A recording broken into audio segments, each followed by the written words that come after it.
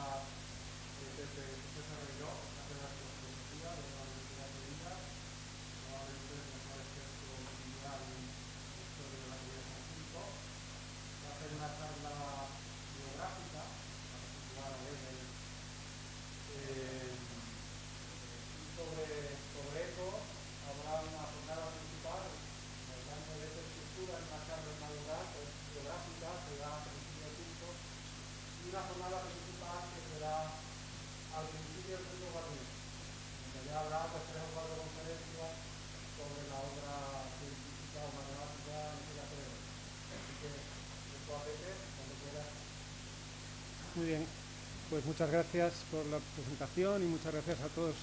¿Se oye, no? Espero que sí. Si puede ser me voy a quedar de pie porque lo de estar sentado no me no soy muy fan, pero espero que se me oiga bien. Si hay algún problema me avisáis, ¿vale? Eh, bueno, pues eh, decía que muchas gracias a todos los presentes por, por, estar aquí. Veo que hay mucha gente, lo cual, siendo las circunstancias que son, pues eh, se agradece y eh, sin más paso a hablar del, del tema. ¿No van? ¿Se oye poco? Vale, es que entre, pues entonces me sentaré, cosa que no, así se oye mejor. Está bien cerca, es, está conectado, ¿no? Vale, espero que se oiga con la mascarilla.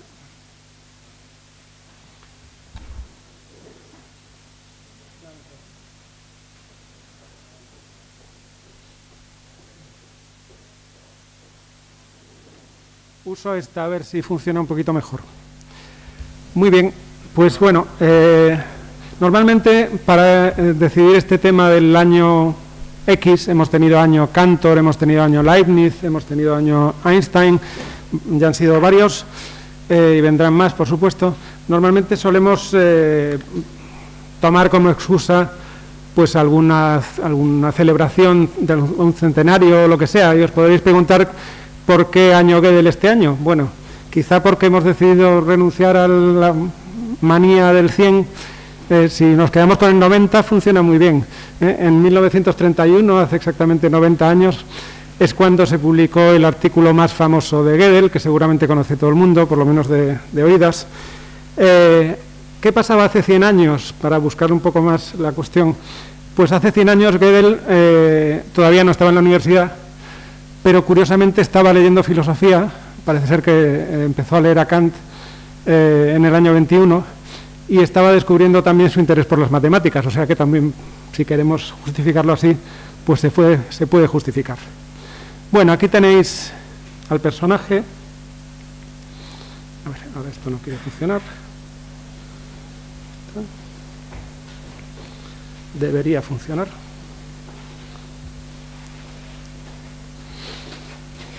A ver, vale, pues va con esa. Aquí tenéis al personaje, las fechas de nacimiento y de muerte. Eh, dan ganas de decirle que se relaje un poquito al señor Gödel, ahí cuando lo vemos en ese lado, quizá es lo que le debería decir él mismo de joven, pero en fin, de eso luego, hablamos. ¿no? Eh, antes de empezar a hablaros de la vida de Gödel, pues se me ha ocurrido sacar eh, una cita de von Neumann Quizá no todo el mundo que está aquí sabe quién es von Neumann, pero os puedo decir que es uno de los matemáticos más importantes de primera mitad del siglo XX, uno de los poquitos que tienen que estar necesariamente en cualquier lista. Y además era una persona que sabía mucho de temas de fundamentos y de lógica. De hecho, había estado directamente implicado en el famoso programa de Hilbert, eh, intentando demostrar la consistencia de la aritmética y demás. Y se dice siempre que fue el primero que entendió el significado, el, sentido y el alcance del famoso teorema de incompletitud de, de Gödel, cuando lo anunció por primera vez. Bueno, esto es una cita más tarde. Estamos en el año 1939. Están discutiendo cómo solucionar la cosa para que Gödel se pueda escapar de, Europa e ir a Estados Unidos. Se lo quieren llevar al famoso Instituto de Estudios Avanzados de Princeton. Y entonces está discutiendo con una de las personas clave en el Instituto de Estudios Avanzados y le dice lo que podéis ver ahí dice von Neumann, se puede afirmar de modo perfectamente justificado que Gödel es irreemplazable para nuestro programa de educación. Se refiere a Elías al Instituto de Estudios Avanzados. Más aún, Gödel es absolutamente irreemplazable. Es el único matemático vivo del que me atrevería a hacer esa afirmación. Representa una rama muy importante de las matemáticas, la lógica formal, en la que sobrepasa a todos los demás en un grado mucho mayor de lo que suele suceder en cualquier otra rama de las matemáticas todo el moderno desarrollo de la lógica formal en relación a cuestiones indecidibles, la solución de la famosa hipótesis del continuo y conexiones inesperadas entre esta área y otras partes de las matemáticas son enteramente su contribución individual. Estoy convencido de que salvarlo del desastre en Europa es una de las grandes contribuciones que se pueden hacer a la ciencia en este momento. Bueno, von Neumann fue siempre un gran defensor y un gran admirador de, de Gödel. Eh, von Neumann, por cierto, si hay que hablar de matemáticos que tuvieron trascendencia fuera del mundo de las matemáticas, también destaca otra vez ahí. Seguramente es el matemático que ha tenido un poder político más, más grande, ¿eh? porque era miembro del Comité Nuclear de Estados Unidos inmediatamente después de la Segunda Guerra Mundial. En fin, habría muchas cosas interesantes que decir de von Neumann, que supongo que se nos queda para, para otro año de pero eh, no es cualquier cosa estas frases porque no vienen de cualquiera en absoluto. ¿eh? Vienen de alguien que entiende muy bien de qué está hablando y es un auténtico peso pesado comparable con Hilbert o comparable con otros eh, matemáticos del estilo. Bueno, vamos ya un poco al tema. Gödel, pues es ese niño pequeño que veis ahí, que nació en 1906 en Moravia, una parte de lo que es ahora la República Checa. Sin embargo, era muy austríaco, en aquello era parte del imperio austrohúngaro y Gödel era de los de habla alemana. De hecho, eh, nos cuentan que despreciaba el nacionalismo checo y nunca tuvo interés en aprender checo, aunque vivía en una zona de habla checa. Eh, de hecho, poco tiempo después adquiere la nacionalidad austríaca, en el 29, y bueno, es hijo de una familia muy bien situada. Su padre había sido un hombre de éxito en los negocios, empresa textil. Eh, el dinero no va a ser un problema, ¿vale? Eh, bueno, habría muchas cosas que decir, luego enseguida os digo más cosas, pero lo cierto es que eh, salió de Europa en 1940, 1939 finales, principios del 40, y ya no volvió más. se nacionalizaría norteamericano, como veis ahí, en 1947. Y bueno, quiero empezar hablando un poquito de qué pasaba en ese momento, en la década de los años 1900, en estos años en los que nació Gödel, y no solo de las cuestiones personales, sino también porque que tengáis un poco de contexto, voy a empezar a mezclar cuestiones eh, científicas o cuestiones que tienen que ver con la lógica y los fundamentos. Bueno, la década es una década problemática. ¿eh? Eh, comienza a surgir preocupación por el tema de los fundamentos de las matemáticas por varias razones. Seguramente ya conocéis el tema de las famosas paradojas de la teoría de conjuntos. Las paradojas se hicieron un asunto público del que se empezó a hablar mucho a partir de 1903. Eh, está la paradoja de Russell, que supongo que la mayoría de los que estéis aquí os sonará. Hay paradojas, si uno considera el, concepto de número cardinal, pues la totalidad de los números cardinales considerada como un conjunto, pues da lugar a contradicciones. Lo mismo con eh, otros, eh, otras diversas paradojas. Había toda una gama de paradojas todo esto promovió mucho el interés por la lógica, pensando que la solución al problema de las paradojas iba a venir de recurrir a la lógica formal y a sistemas eh, lógicos explícitos. Eh, ¿no? digo más sobre eso, pero esto está, es un tema muy importante en el trasfondo de, todo lo que va a ser los, temas que trabaje Gödel en su vida. Surge la duda sobre la consistencia de la teoría de conjuntos y más adelante van a surgir planes para demostrar la consistencia de la teoría de conjuntos y de otras ramas de la matemática sobre todo lo que estaba mencionado ahí al final de todo, los famosos planes de Hilbert, de lo que se llama el programa de Hilbert o lo que se llama la metamatemática. ¿no? No voy a entrar en detalles de lo que es esto. Eh, en la jornada principal que dediquemos a esto seguro que vais a tener una charla en la que se hable de esto con, calma, ¿vale? Cuestiones de lógica formal en cualquier cosa, en cualquier caso, perdón. Más problemas, había más problemas. Eh, se está discutiendo mucho el tema del axioma de elección. El axioma de elección, tenéis ahí una formulación básica, tenemos un conjunto E, cada uno de cuyos elementos es un conjunto a su vez, y dado eso, dado E, existe un conjunto F que contiene un elemento por cada conjunto que pertenece a E. ¿Vale?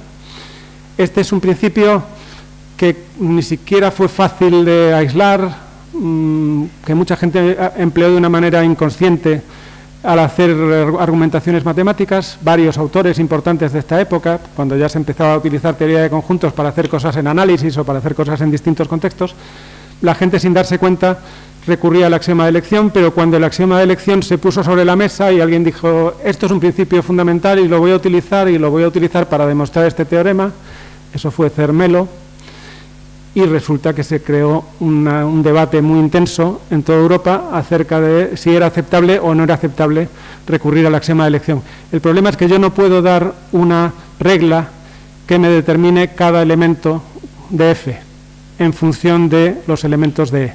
Simplemente afirmo que existe. Tiene que haber ese conjunto si es que tenemos un conjunto de conjuntos. Y esto eh, planteó problemas y planteó muchos debates y tiene mucho que ver con las distintas posiciones en el debate sobre los fundamentos a principios del siglo, del siglo XX. Eh, bien, eh, más problemas. Bueno, más problemas. Están, por supuesto, los problemas de Hilbert, que todo el mundo conocerá seguramente, la famosa lista de 23 problemas que propuso Hilbert en el año 1900. Pues el primero de los 23 problemas de Hilbert es el problema del continuo, la cuestión de la hipótesis del continuo de Cantor, que era una hipótesis muy básica, muy, importante en teoría de conjuntos. Digamos que si uno desarrolla la teoría de conjuntos a la manera de Cantor, pues casi es una de las preguntas más naturales que uno se tiene que plantear. ¿Eh? ¿Qué dice la hipótesis del continuo? Pues dice que el cardinal de R del conjunto de los números reales es el inmediato más grande que el cardinal de los números naturales. Esto equivale a otras formulaciones. Eh, otra formulación posible es que todo conjunto de números reales o bien es numerable o bien tiene la potencia del continuo. Eso quiere decir que tiene la misma, el mismo número de elementos que todo R, que, todo, todos los reales. ¿vale? Y mm, otra manera, tercera manera de formular lo mismo es que 2 elevado a Aleph 0 es Aleph 1. Aleph 0 es el primer cardinal de Cantor, el cardinal de los naturales, y Aleph 1 es el siguiente mayor. Eh, sabemos que 2 elevado a Aleph 0 es el cardinal de los números reales. La pregunta es, ¿qué es eso exactamente? Y la hipótesis de Cantor es que precisamente es Aleph 1. ¿Vale? Eso es lo que dice la, hipótesis del continuo. La menciono un poco con detalle porque de todos estos temas se va a ocupar mm, y va a hacer eh, aportaciones muy importantes eh, Gödel. Y bueno, en la misma década, la década termina con varias eh, propuestas interesantes acerca de los fundamentos de la matemática, por ejemplo, la teoría axiomática de conjuntos se, plantea por primera vez, pero fue especialmente conocida esta obra de Whitehead y Russell. Russell es el famoso lógico y filósofo inglés, eh, aquí tenéis a los personajes, por cierto, Russell es este personaje con bigotito eh, que, tenéis a la izquierda y a Gilbert lo tenéis a la derecha, ¿vale? Bueno, no, no, comento nada más, pero es interesante ver la repercusión mundial que pueden tener estos personajes, que también queda ahí puesta de manifiesto. Bueno, pues en los Principia Matemática, esta obra de Russell y Whitehead, era precisamente un tratado de lógica y teoría de conjuntos muy detallado, con una propuesta concreta sobre cuál debe ser el sistema lógico, que tenía sus ventajas y tenía sus inconvenientes. Habría mucho que hablar ahí. Eh, no, es el momento de hablar de eso. Eh, si alguno quiere alguna pregunta, pues igual eh, se puede comentar. Pero dio lugar a muchos debates y fue una de las propuestas importantes que se hicieron y uno de los sistemas que se discutieron mucho. Se discutían especialmente, se tenían en cuenta especialmente sistemas axiomáticos, por ejemplo, para los números reales, pero también la axiomática de la teoría de conjuntos que había dado Cermelo, que quizás tenía que haber puesto aquí su cara también, un tercer personaje importante a, colocar aquí, y se discutía mucho el sistema de Russell y Whitehead que se llama teoría de tipos. Vale, sin más. Bueno, volviendo a nuestro personaje. Eh, Herr Barum, eh, el señor por qué. ¿Por qué le llamaban así? Pues parece ser que en la familia le llamaban el señor por qué, porque de, pequeño pues tenía esa manía de preguntar por qué, por qué, por qué y estar siempre preguntando por qué. Dice Dawson, que es el, que ha escrito la biografía más eh, cuidadosa y más completa de Gödel, que eh, lo curioso de Gödel es que nunca abandonó esa actitud de preguntar por qué, por qué, por qué. De mayor seguía en lo mismo. ¿En qué sentido? En el sentido de que era de estas personas que creen que todo lo que sucede Absolutamente todo tiene una razón y una causa, no hay casualidades. Y eh, bueno, esto puede hacerte por un lado muy inquisitivo, pero por otro lado también te puede llevar a pensar cosas muy extrañas o incluso hacerte crédulo, si crees que todo lo que sucede en la vida tiene una causa oculta. Eh, eso tiene algo que ver con Gödel y cómo era como, como personaje. ¿vale? O sea que lo del señor Porqué, aparte de contarnos una anécdota sobre su infancia, también nos cuenta un rasgo importante de, carácter. Bueno, eh, dos son precisamente lo describe, ya veis ahí, como un chico realmente serio, brillante e inquisitivo, muy sensible, a menudo esquivo y preocupado, y que ya en edad temprana exhibía algunos signos de inestabilidad emocional. La inestabilidad emocional, si alguien de vosotros conoce algo de la vida de Gödel, pues eh, es evidente que fue un factor importante. Bueno, este chico, de origen en Moravia, pero que se trasladó a Viena para estudiar, Viena era una de las grandes ciudades en aquel momento, culturalmente la Viena de esta época es una barbaridad. ¿no? Bueno, estudió en la Universidad de Viena, entró con la idea de estudiar física, pero muy pronto, mm, asistiendo a clases de teoría de números, precisamente, de Furtwängler, pues quedó entusiasmado con esto y decidió pasarse a las matemáticas. Eh, pongo ahí que en el año 1927 conoce a una persona que va a ser muy importante en su vida, Adele, que era una bailarina divorciada, la conoció en algún club nocturno y era seis años mayor. Sus padres no estaban nada contentos de que se encaprichase con esta mujer, pero curiosamente, pues al cabo de bastantes años se van a, se van a casar luego volvemos a Adele y a la boda entre los dos. Eh, en esos mismos años, 1927, 1928, Gödel participa en unas reuniones de un grupo de científicos y filósofos en Viena, que es muy famoso, que se llama el Círculo de Viena. Se le llama el Círculo de Viena porque fueron conocidos y tuvieron bastante impacto. Eh, uno de los miembros clave del Círculo de Viena era Hans Hahn, que es un matemático importante de esta época, precisamente, analista. Eh, es el que invita a Gödel a, las reuniones del Círculo de Viena. De hecho, va a ser su director de tesis doctoral. Eh, y bueno, lo cierto es que en el Círculo de Viena pues hay toda una serie de ideas muy importantes. No tengo tiempo de entrar en detalles, se podrían contar muchas cosas. Me limito a contaros simplemente que se hablaba mucho de cuestiones de lógicas, se tenía especial interés por la lógica formal, eh, se tenía especial interés por el análisis de los fundamentos de las ciencias y en particular de las matemáticas. Entonces ahí se encuentra Gödel con todas estas cuestiones y en un contexto de, una discusión importante sobre todo este tipo de, asuntos. Eh, curiosamente, Gödel no está de acuerdo con algunas ideas clave de los miembros del Círculo de Viena, que son empiristas, son positivistas.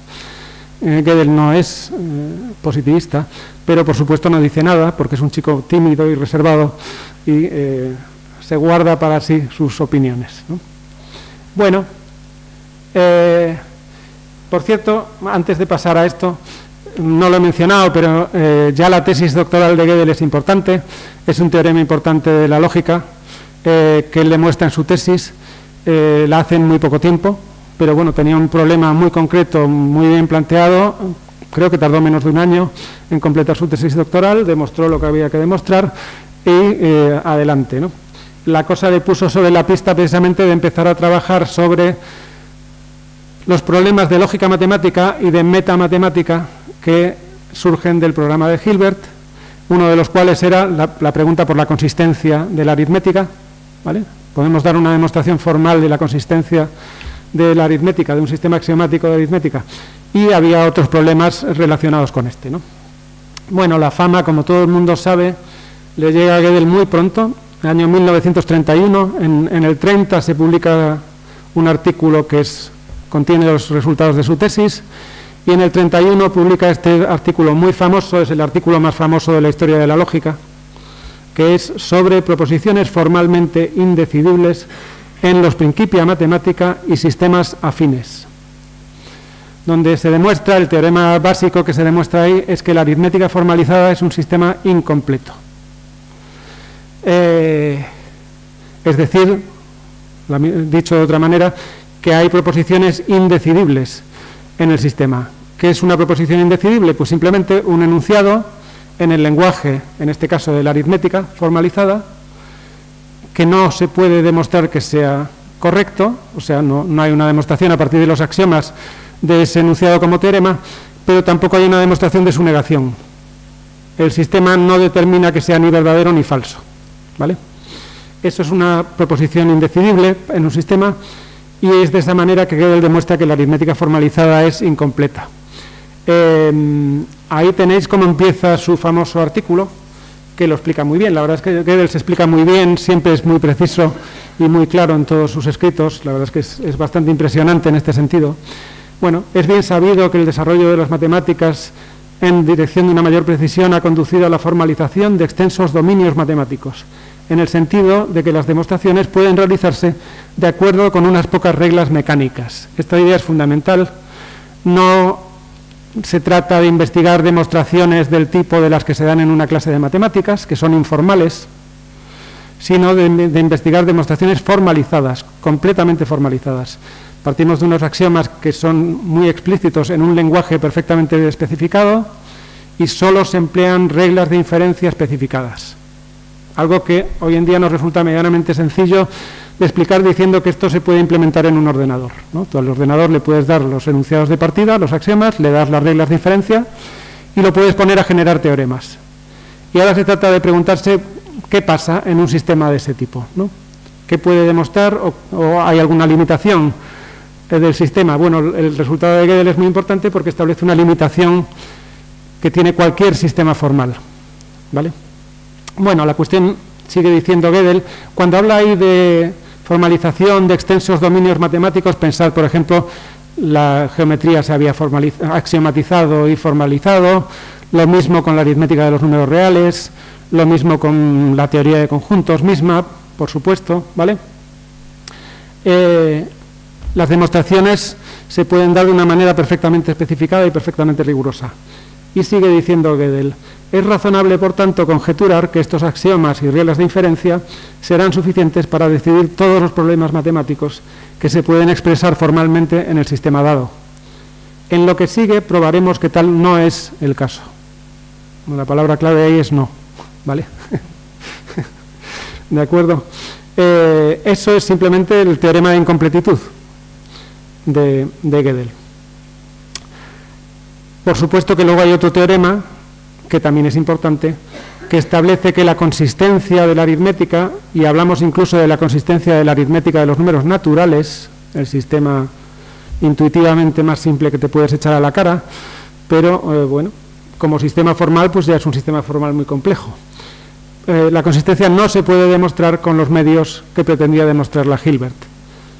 sobre esto habría mucho que hablar. Lo que acabo de decir es la tesis de von Neumann, después de ver los resultados de Gödel y después de ver cómo se podía demostrar eh, este, este, último resultado. Eh, no voy a decir mucho más sobre estos famosísimos teoremas de Gödel, porque de hecho en la jornada principal habrá una charla dedicada a esto. Eh, si queréis hablamos más, por supuesto, si alguien quiere preguntar o comentar. Pero me, me parece importante decir que hay otros resultados de Gödel que son sumamente importantes en la historia de la lógica formal y que son poco conocidos. En 1939 y en 1940 publicó un par de artículos eh, que son mm, fundamentales en lo que es la historia de la teoría de conjuntos. ¿eh? Demostró la consistencia relativa del axioma de elección y de la hipótesis del continuo con respecto al resto de los axiomas de la teoría de conjuntos. ¿Qué quiere decir consistencia relativa? Quiere decir, una manera de explicarlo es la siguiente. La gente venía estando muy preocupada por el axioma de elección. Aceptamos el axioma de elección, lo rechazamos, es trabajar con conjuntos arbitrarios, conjuntos que no puedo especificar mediante una regla, está mal que los matemáticos apelemos a conjuntos arbitrarios no especificables mediante una regla, debería ser todo determinable mediante una regla explícita. Bueno, este tipo de, preguntas se venían haciendo durante más de dos décadas. ¿vale? Bueno, la cuestión es la siguiente. Imaginemos que la teoría de conjuntos sin el axioma de elección no tiene ningún problema y es una teoría consistente. De hecho, la mayor parte de la gente cree que es así. ¿vale? Digo hoy, o desde aquella época hasta hoy, que la teoría de conjuntos es un sistema consistente. Bueno, pues en tal caso Gödel te demuestra que añadirle el axioma de elección no puede introducir ninguna inconsistencia. Si, hay una contradicción con el axioma de elección, entonces es que ya la hay sin el axioma de elección. Eso es lo que demuestra Gödel, ¿vale? Y no solo lo demuestra con respecto al axioma de elección, sino también con respecto a la hipótesis del continuo. Esto fue una contribución fundamental, especialmente por el axioma de elección. El axioma de elección es un axioma, si me permitís que lo diga, muy natural de la teoría de conjuntos, ahí estoy de acuerdo con, con Gödel, pensaba lo mismo, eh, y sin embargo se habla mucho de él y se dice que si tiene consecuencias extrañas y que si pasan cosas demasiado raras en matemáticas por tener el axioma de elección. Bueno, eh, la cuestión es que la preocupación por, ese axioma como posible fuente de contradicciones fue eliminada por Gödel en el año 1940. No tiene sentido hacerse este tipo de problematizarse con esa cuestión. Eh, mm, ya está la cuestión de si lo quieres aceptar como axioma o no, pero lo mismo te puedes plantear con respecto a cualquier otra cosa. ¿Es absurdo aceptar que hay un conjunto infinito? Podrías pensar que es absurdo en cuyo caso podrías querer rechazar ese axioma también, pero eso ya es otra cuestión distinta. Bueno, y lo que demostró Gödel, que es muy interesante y es importante, para entender qué quiere decir esto de incompletitud y qué quiere decir esto de proposiciones indecidibles en matemáticas, creo que es bueno explicarlo en términos que no tienen nada que ver con el teorema del año 31. La hipótesis del continuo es una proposición indecidible en la teoría de conjuntos axiomática que se suele aceptar. La teoría de conjuntos axiomática que se suele trabajar es ZFC, eso viene del nombre de Cermelo, Frenkel y la C de Choice, Choice es elección en, inglés, O sea que el sistema de axiomas con el axioma de elección y con los demás axiomas se le llama ZFC. Y es un sistema, bueno, como dice ahí arriba, proposiciones formalmente indecidibles no solo en principio matemática, sino también en sistemas afines. Es quiere decir que el teorema de incompletitud se aplica a una gran gama de teorías y de sistemas formales, uno de los cuales es la eh, teoría axiomática de conjuntos. Entonces, eso también es incompleto. Ahí también hay proposiciones formalmente indecidibles y curiosamente en la teoría de conjuntos no solo hay proposiciones formalmente indecidibles que pueden ser un poquito artificiales, que cocina uno metamatemáticamente a la manera que cocinó eh, su resultado Gödel, perdonadme que hable así, sino que hay también proposiciones indecidibles perfectamente naturales. Una de ellas es la, hipótesis del continuo. La cosa no tiene que ver con muchas otras eh, afirmaciones que se hacen muy a menudo acerca de estos teoremas. Mm, demasiadas veces se, abusa un poquito de los teoremas de Gödel y se sacan muchas conclusiones que no están muy justificadas. Eh, la cosa tiene que ver pues, con un fenómeno absolutamente generalizado y que es ineliminable. Cualquier sistema que contenga un mínimo de contenido aritmético, ¿eh? que contenga cierta parte de la aritmética de los números naturales, va a ser un sistema incompleto. Es lo que hay. ¿eh? Limitaciones de los sistemas formales. Bueno, ya digo que este resultado es muy importante en la historia de la teoría de conjuntos. Comienza, de hecho, el, estudio de la meta-teoría de la teoría de conjuntos, que es lo que vienen haciendo los especialistas en teoría de conjuntos desde el año 40 hasta el día de hoy. O sea que es muy importante. Me entretengo tres o cuatro minutos en comentar que hay muchos errores en las cosas que se leen por ahí sobre los teoremas de Gödel, los teoremas de incompletitud sobre todo. Y curiosamente os puedo poner un ejemplo que es nada menos que de la propia página web sobre Gödel en el Instituto de Estudios Avanzados de Princeton, lo cual está estupendo, porque quiero decir que si hasta aquí se mete la pata con los teoremas de Gödel, os podéis imaginar lo que pasará en los periódicos, en las novelas o en los libros de filosofía. ¿vale? Pasan cosas muy alucinantes. Bueno, ¿cuál es el problema aquí? Dice que los resultados fundamentales de Gödel mostraron que en cualquier sistema axiomático consistente, hay proposiciones indecidibles. Falso. Esa afirmación es falsa. Hay, eh, el problema está en el ENI, no cualquier sistema, cualquier sistema que contiene un mínimo de aritmética. Por ejemplo, hay un sistema muy bonito de geometría eh, que propuso Tarski que es completo. No pasa nada. No, contradice a los teoremas de incompletitud de Gödel. O sea que cuidado con sacar la conclusión de que cualquier sistema formal tiene que ser necesariamente incompleto o que cualquier sistema formal eh, no puede... Eh, bueno, por cierto, eh, sigo, sigo con las críticas, ¿no? luego ya sigue diciendo, y que la consistencia de los axiomas mismos no se puede demostrar. Falso, de nuevo. Quiero decir, la consistencia de la aritmética se puede demostrar con bastante facilidad. El problema es que no se puede demostrar la consistencia, y aquí es un detalle técnico importante, pero si vas a hablar de esto, el problema es que tienes que ser un poco preciso con los detalles. No se puede demostrar de manera finitaria, que es como la quería demostrar Hilbert, mediante una especie de combinatoria finita de símbolos. Pero se puede demostrar de muchas maneras la consistencia de la aritmética. ¿eh? Eh, claro, el problema es se puede demostrar de maneras que no nos dan garantías más seguras de esa consistencia de lo que es trabajar con la propia aritmética. O sea, la metamatemática quiso hacer una cosa que a mí a veces me divierte compararla con el varón de Munchausen, que no, seguro, seguro, que no sabéis qué es, pero eh, hay un libro que fue famoso, que hablaba de las aventuras del varón de Munchausen, y una de las aventuras es que el varón va a caballo, entra en un terreno pantanoso y cae en el pantano, pero entonces no hay problema porque se agarra a sí mismo y se saca del pantano. Bueno, esto se parece un poco a lo que quería hacer Hilbert con la consistencia de, la matemática. Quería que la propia matemática diera cuenta de sí misma hasta el final y eliminara cualquier posible duda acerca de sí misma. Resulta que eso no es posible, eh, lo cual es un resultado muy interesante. Pero ojo, porque ahí ya digo, si uno dice sin más la consistencia de los axiomas no se puede demostrar, mm, es impreciso. Esa segunda imprecisión seguramente es perdonable, la primera es menos perdonable.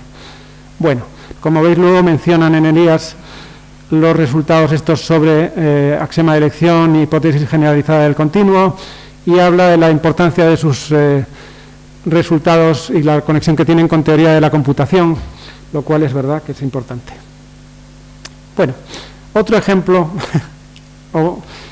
eh, fijaos, solo la última frase de esto. Esto es, lo encontré estos días, eh, este fin de semana, mirando por ahí una sinfonía eh, que suena bien, tocada por una orquesta importante y el programa que, te plantea el compositor, claro, o sea, no es cualquier cosa, ¿no? Bueno, si yo voy a escribir una sinfonía sobre Gödel, pues seguramente preguntaré un poquito eh, a gente de qué va todo esto. Fijaos la última frase. Los sistemas formalizados suficientemente complejos, tales como las matemáticas, pueden o bien ser consistentes o ser completos, pero no las dos cosas. Esto es una barbaridad. Esto es una conclusión que no se puede sacar de ninguna manera, es una barbaridad simplemente, pero bueno, es, que es muy fácil encontrar barbaridades a propósito de los teoremas de, Gödel. Eh, la aritmética de los números naturales estamos convencidos de que es consistente, eh, eh, sabemos que es incompleta, ¿vale? Pero, o sea que hay sistemas consistentes e incompletos. Pero esto de que no puede haber un sistema que sea a la vez consistente y completo, pues, en fin. Bueno, esta conclusión está mejor sacada. ¿Eh? Esta es de un buen matemático y es una buena conclusión. Dios existe porque la matemática es consistente y el diablo existe porque no podemos demostrarlo. Esto es una eh, conclusión interesante que sacó André Dale, que también era miembro del Instituto de Estudios Avanzados de Princeton. Eh, y bueno, aprovecho aquí para comentaros que incluso puede uno leer cómics, que es donde se discuten estas cosas, y uno bastante bueno es este Logicomics, que se publicó hace unos cuantos años, podéis divertiros leyendo cosas acerca de eh, los debates sobre fundamentos, las paradojas, Russell, Gödel y todas estas cosas. Hay mucho material por ahí de todo tipo. ¿no? Eh, bueno, eh, creo que esto me lo voy a saltar, porque en cualquier caso no me quiero extender demasiado y vais a tener en la jornada principal alguna, alguna charla en la que se hable de esto. Gödel, hemos visto antes que simplemente de qué va esto, por no saltármelo directamente. el sistema axiomático de la teoría de conjuntos es incompleto. pero no solo es que sea incompleto, a la manera del teorema de, incompletitud, sino que además hay cuestiones aparentemente tan básicas como el problema del continuo, como la hipótesis del continuo, que resultan ser indecidibles. Entonces, ¿qué opina de esto el señor Gödel? Pues el señor Gödel opina que simplemente faltan axiomas. Igual que hace ciento y pico años alguien se dio cuenta de que había un axioma que era el axioma de elección y que incluso lo veníamos usando implícitamente, y dijo, no, esto hay que hacerlo explícito, pues Gödel opina que hay que buscar más axiomas de la teoría de conjuntos y que eh, con nuevos axiomas puede ser perfectamente posible determinar si la hipótesis del continuo es, verdadera o es falsa. De hecho, creía que era falsa y tenía sus justificaciones, no sé si mejores o peores, pero las tenía para pensar que era falsa. Bueno, esta idea de, de, buscar nuevos axiomas de conjuntos, y en particular los axiomas de grandes cardinales, hay quien le llama el programa de Gödel. Eh, esto suele ser conocido solo por especialistas en teoría de conjuntos, pero ha sido un tema muy importante porque los mm, desarrollos de los últimos 60 años o 80 años en teoría de conjuntos tienen que ver con esta, con esta cuestión. Bueno, ahí tenéis a, a Gödel de joven, eh, con Tarski, no sé si os suena Tarski, pero otro gran lógico, polaco, Ahí creo que están en Viena, en una, en una visita de Tarski a, Viena. Eh, no, comentaré cosas de Tarski, era un buen lógico. ¿eh? A él le hubiera sido gustado ser el mejor lógico de su generación, pero no pudo. Eh, más cosas sobre el, personaje de Gödel y ya vamos a ir terminando. bueno, en los años 30, desde, que se inauguró el Instituto de Estudios Avanzados de Princeton, muy rápidamente lo empezaron a invitar. Hizo varias visitas a Estados Unidos, eh, pasando temporadas allí, dando cursos allí.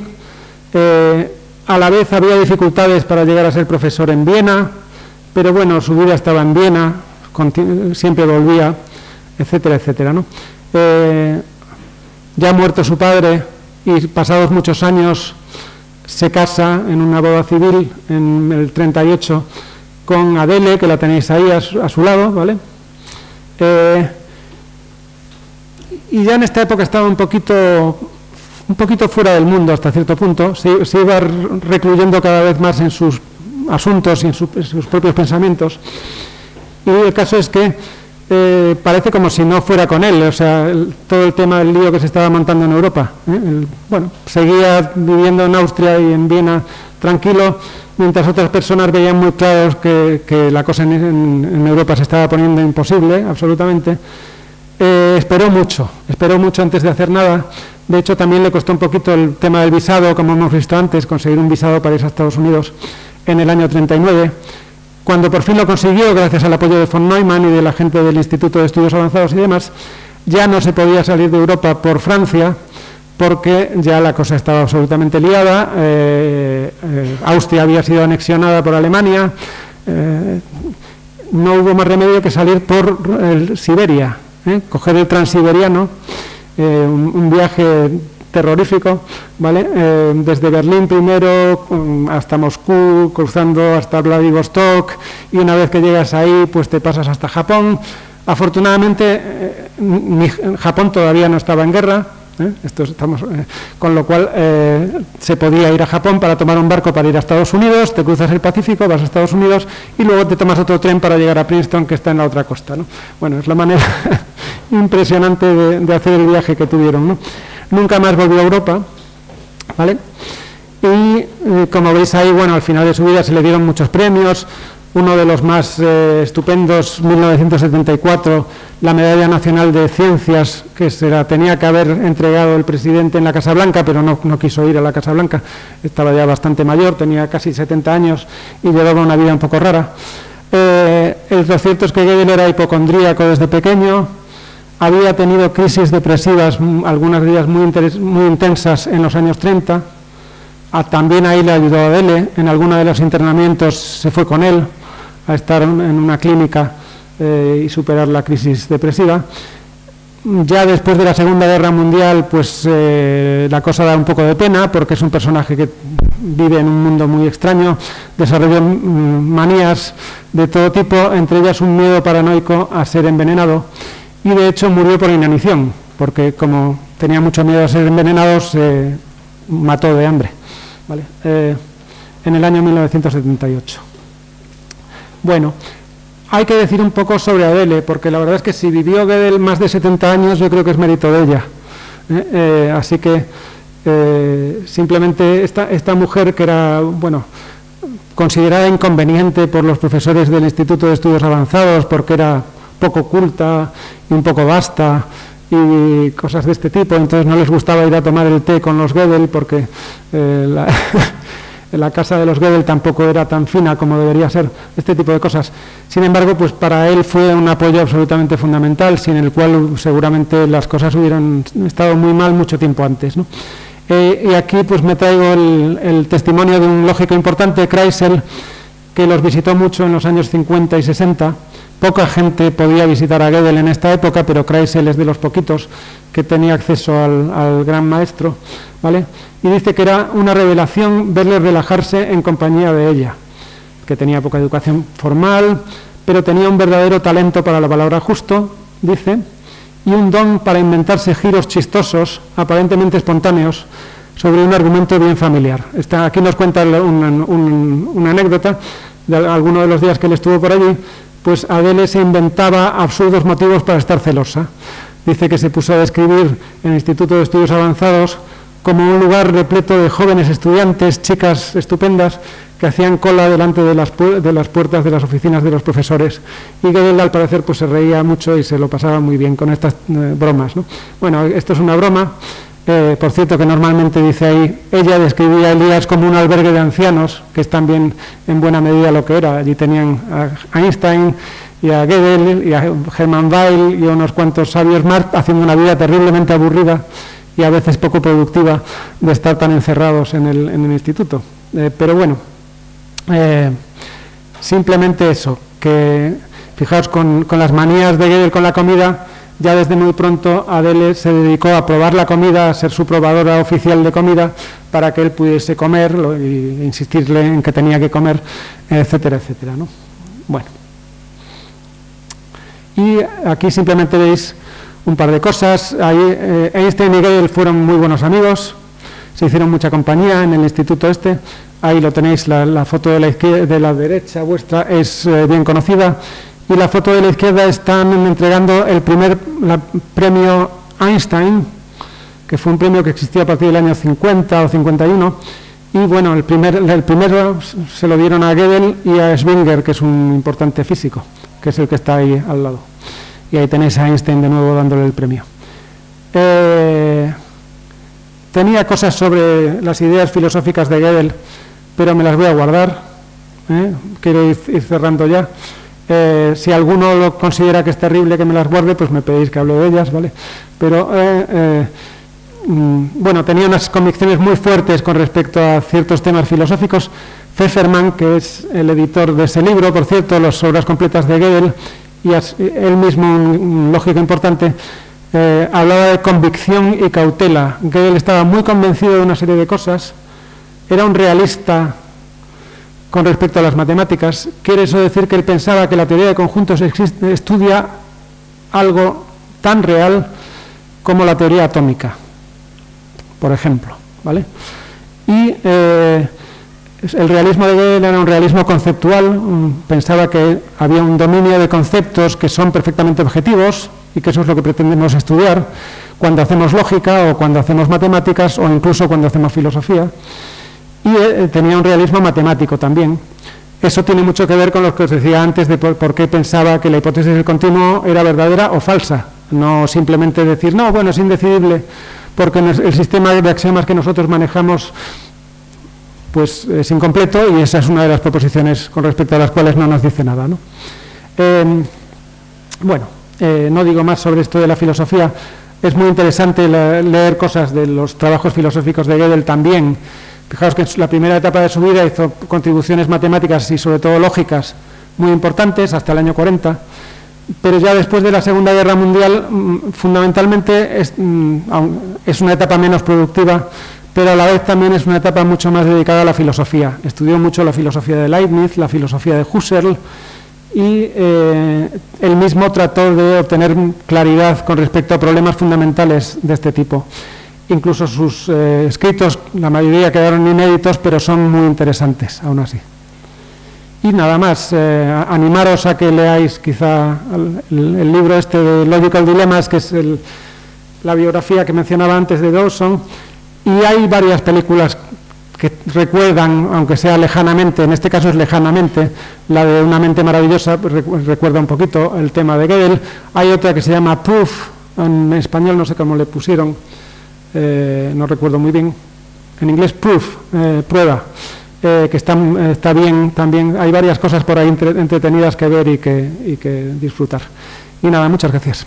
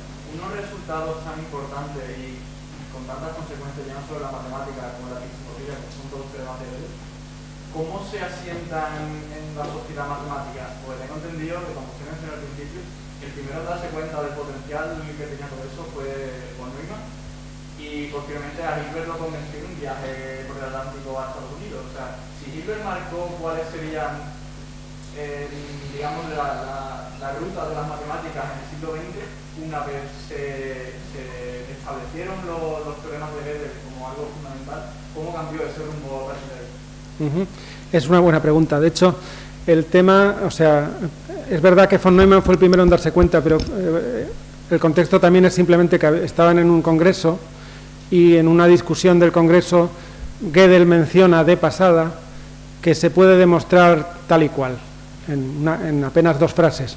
Entonces simplemente la gente no se dio cuenta de que estaba la importancia de lo que estaba diciendo, salvo von Neumann que estaba por allí y que le cogí y le dijo, vente para acá y dime cómo se demuestra eso, cómo lo has hecho, qué métodos has utilizado, etcétera, etcétera.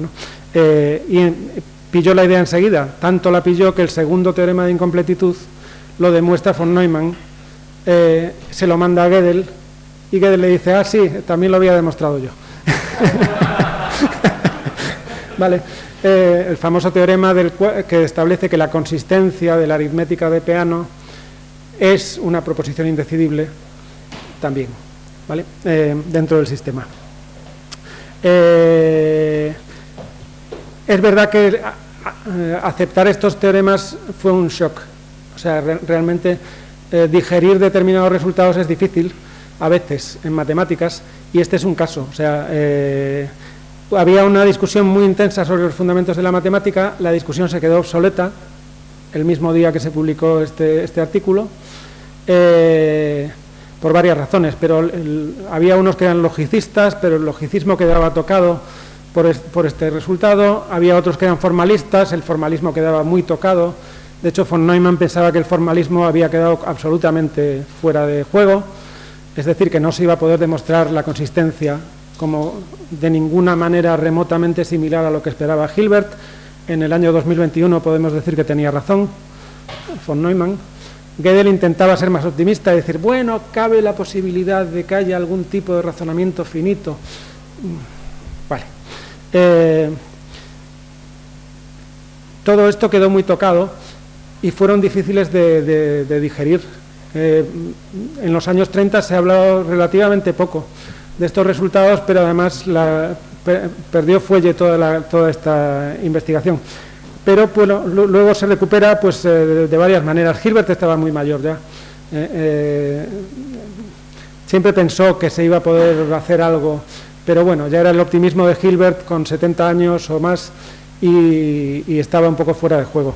Otros personajes fueron más centrales en, en desarrollar esto y bueno, hay una parte mm, positiva, quiero decir, eh, la metamatemática dio lugar a muchas cosas que han sido importantes.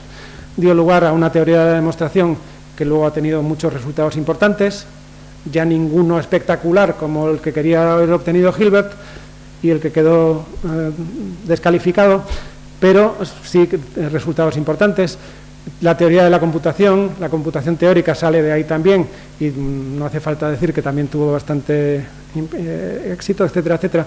El debate sobre los fundamentos de la matemática quedó un poco desplazado y quizá estamos todavía repensando y, digiriendo las consecuencias de, estos resultados y de otros.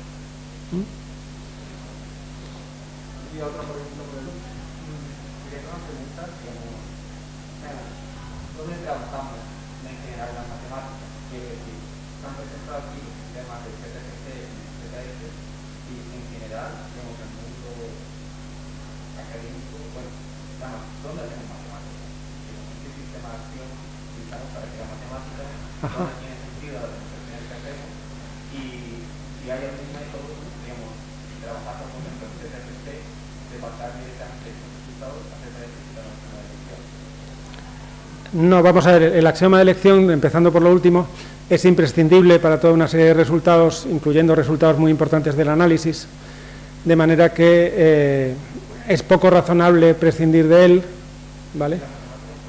Eh, ¿Dónde hacemos matemáticas? Pues hacemos el, matemático normal, primero, hace matemáticas de manera informal, con lo cual no te preocupas exactamente de cuál es el sistema axiomático que podría haber detrás.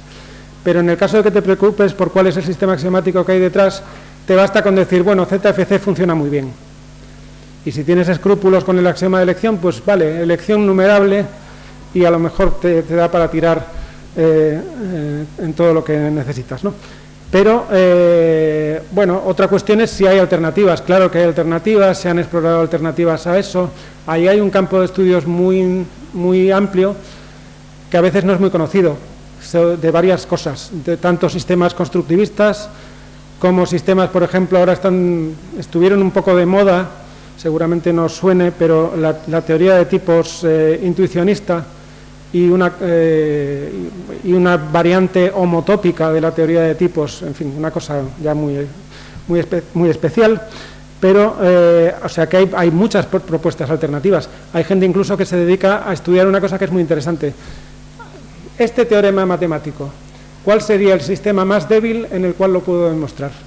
Eso ahora mismo hay métodos para estudiar esto de una manera rigurosa y normalmente son sistemas muy débiles, bastante más débiles que la teoría de conjuntos, los que te permiten demostrar cualquier, casi cualquier resultado de los que normalmente. O sea que en realidad en matemáticas no se trabaja con bastante poco o se podría trabajar con sistemas bastante débiles. Otra cosa es que al matemático normal pues esta cuestión no le interesa demasiado y seguramente por buenas razones, ¿eh? porque está en otro juego, digamos.